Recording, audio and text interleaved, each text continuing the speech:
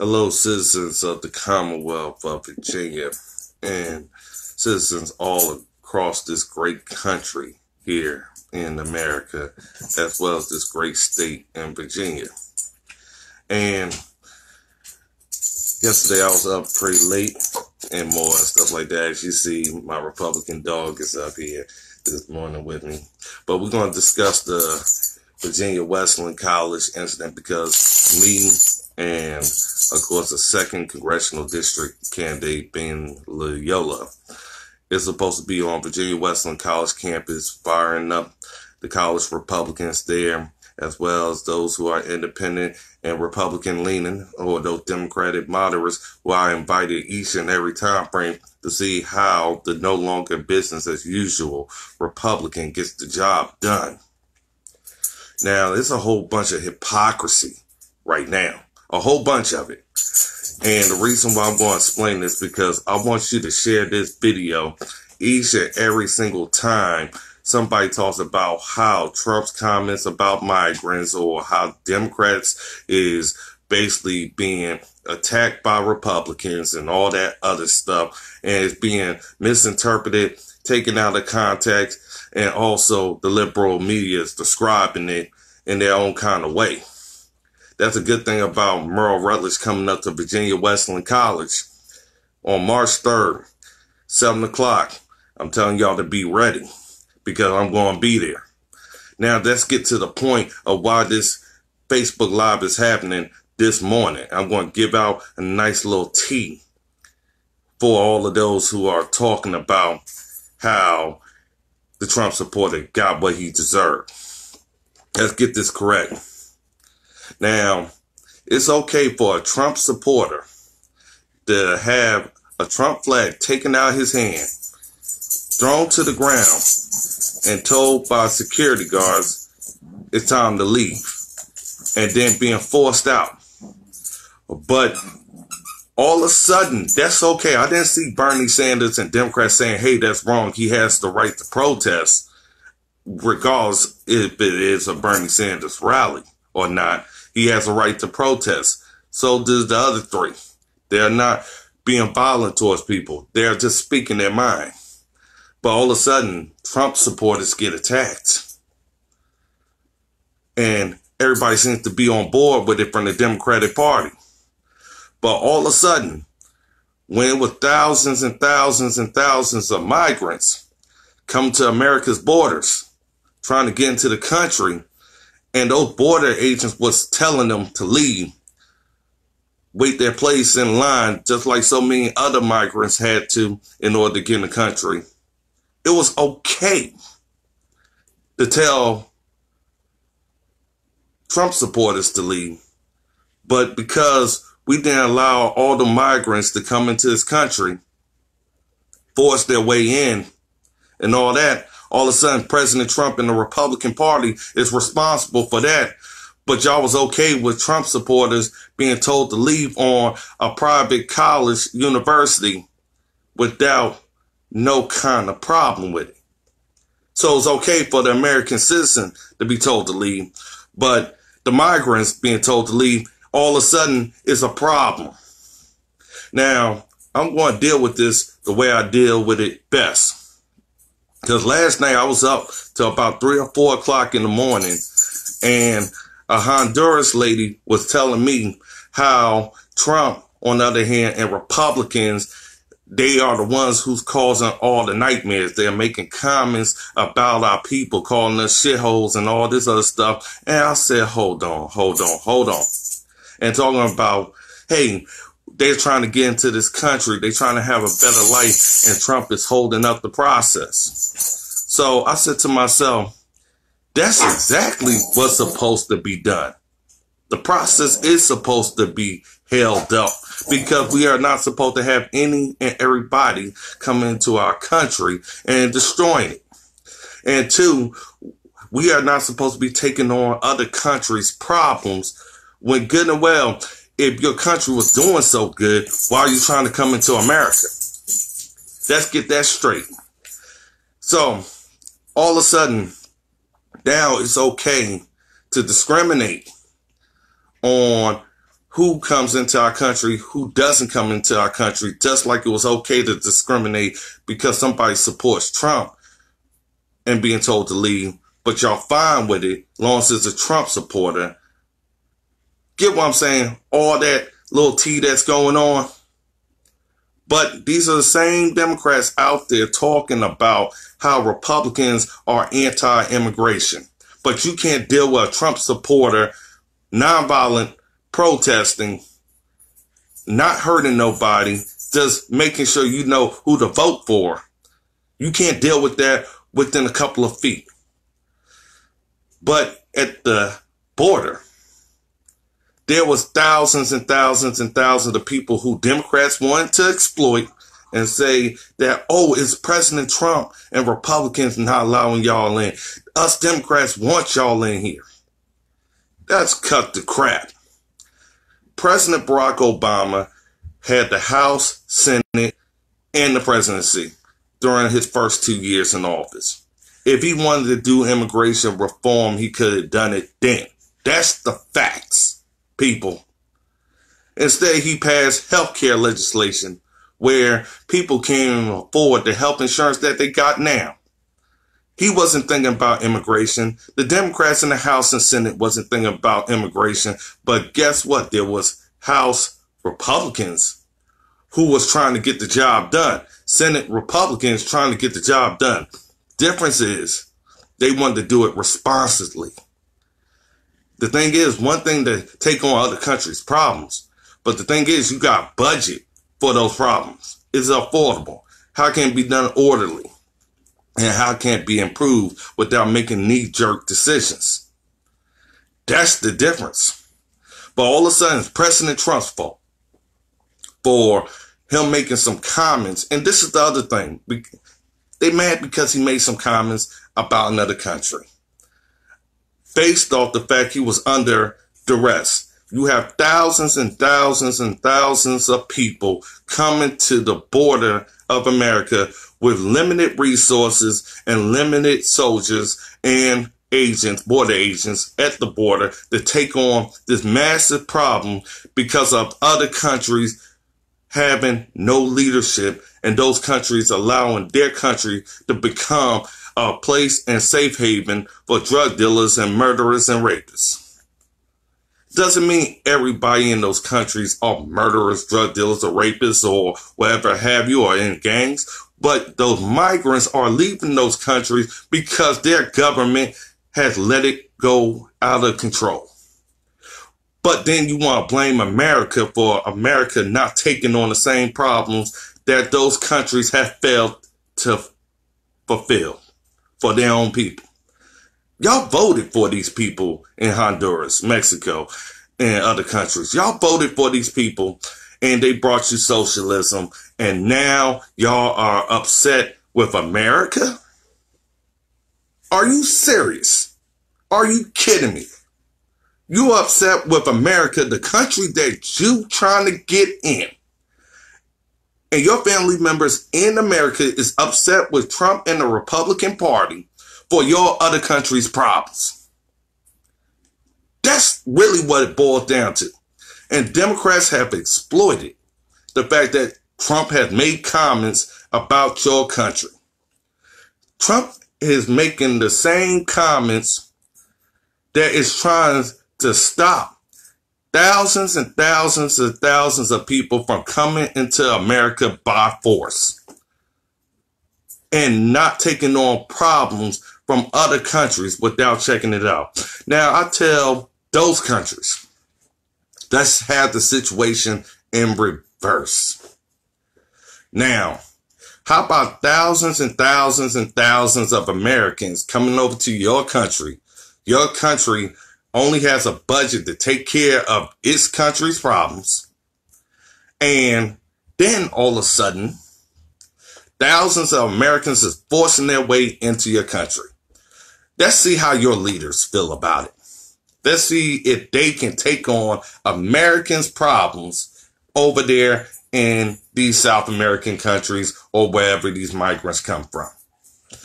And let's see if your leaders don't make statements out there about a problem that wasn't their responsibility. That's the about that one. But you want to talk about the people who actually have to figure out a plan and a strategy in order to accommodate and make sure one, America is protected, just like if the situation was in reverse, Honduras was protected from this massive group of people who are trying to get into their country and they don't know who they are. They haven't had a chance to do a background check or anything. But all of a sudden, this has become America's problems, just like I said in that scenario would become Honduras' problem. It's just a double standard that certain political parties decide to exploit. And the reason why they exploit it is just due to the fact they believe that their countries or their political party needs to appear to be something that they're not. That's exactly what the devil does. But at the same time period, now we're dealing with a situation where people have this false belief that based off the fact that you're Republican, that you are the ones who is against immigration. There's no Republican against immigration. We're just against the fact that people want to force their way into our country and don't want to follow our laws. And then we have to pay for it. We have people in this country that doesn't have adequate health care, doesn't have free tuition to go to colleges, and getting housing for free in this country as American citizens. But we are saying we are going to provide that as incentive for those from other countries to come here so we could take on those problems. That is not even common sense. We can't take care of our own, but we are definitely going to sign up to take care of other countries' problems. The fact is, anybody could say because they are Democrat or whatever, then they are here for illegal immigration or whatever. But they had the opportunity, like I said, to have immigration reform. They just chose not to. But we get blamed, blamed. Every single time frame is beneficial for Democrats for the immigration and migrant problem. And so many think, hey, we believed in the family separation pro- uh, policy. But that policy came in through the Obama administration. The cages that them kids and families was locked up in, that was Obama's policy. Obama's administration. Those cages was built by them. That was the only plan that they had at the time. And then all of a sudden the media starts reporting it because all of a sudden it's being used now for a problem that we didn't create. Those other countries created their own problems and their own mess. And the thing is, this is where the lack of leadership happens in socialist areas or liberal cities. And we talk about this all the time. These gangs and these drug dealers and more are not created at birth.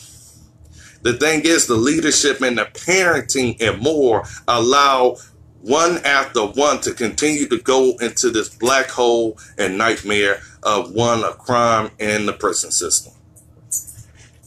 That's a problem that those communities allow to fester. And then all of a sudden, now it's convenient to point the finger. And that's what Democrats do. They point the finger at everybody else instead of looking at themselves that we are the problem. We are the reason why my country is out of control. We dropped the ball. Our leadership dropped the ball. And now America has to be the one to pick it up and try to fix it. Trump only said enough was enough. We are paying for not only aid to these countries, but y'all abusing the funds that we are giving you. Y'all getting rich up there in leadership while your people is getting poor and broke trying to survive based off of your greed. The fact is, Trump is only exploiting the problems and letting people know in these countries that where the root comes from so y'all can fix it. Fix it in your own country. The same thing here in America. We didn't run from America. We built and fixed America. The same thing these countries have to do. You can't run from your problems.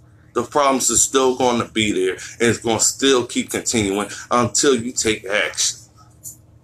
But America is not supposed to be the fix all for every single country. We have enough problems on our own. But for those to say that these comments that are made out there has uh, pissed people off or made them overly uh, sensitive or they feel like it's hate comments, no, it's not hate comments. It's just due to the fact we took on a problem that your own countries created.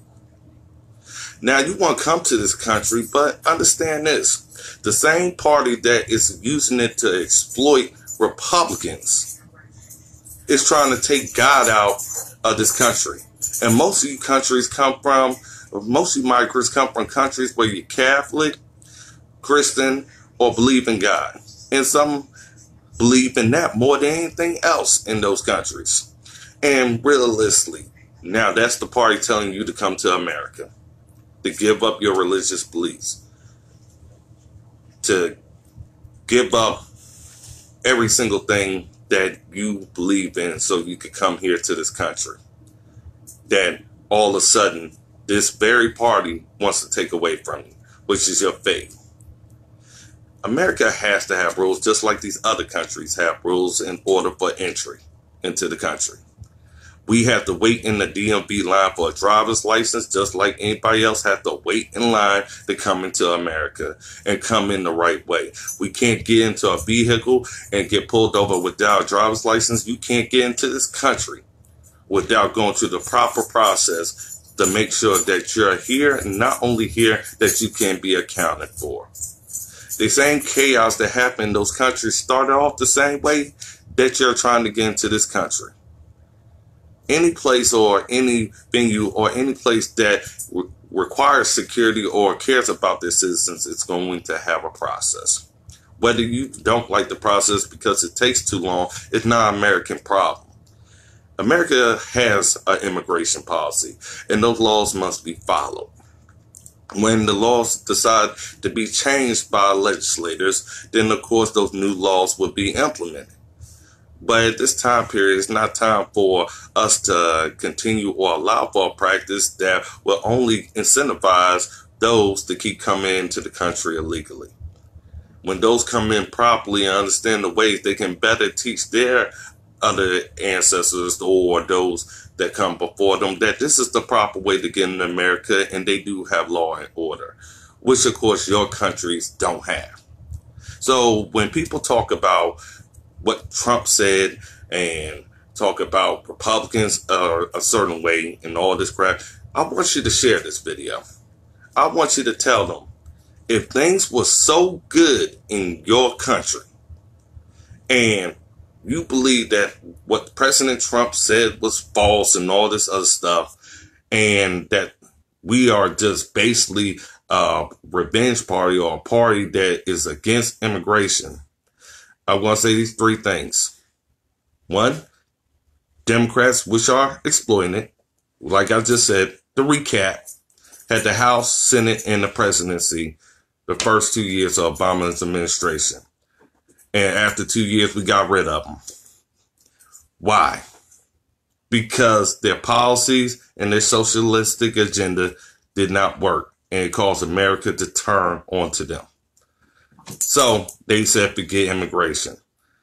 Then, of course, the family separation, cages being locked up, they may have not said the statements, but they surely implemented the policies that back up those statements. So just because somebody doesn't become real with you, but if I'm doing everything to show you I don't want you here, that's really saying the same exact thing, but instead I'm putting action. That was the Obama administration when it came down to the family separation policy. Then, at the same time frame, like I said, with thousands of thousands of Americans trying to go into Honduras, how would that leadership handle that problem? Would they just let us all in? Or would they decide to do or not to do to make sure Americans don't get in there? Not without going through the proper paperwork or the proper process. That's the same thing here in America. You have a process to get into this country. Just because Democrats say Republicans are to blame for immigration, look at the reality of the situation.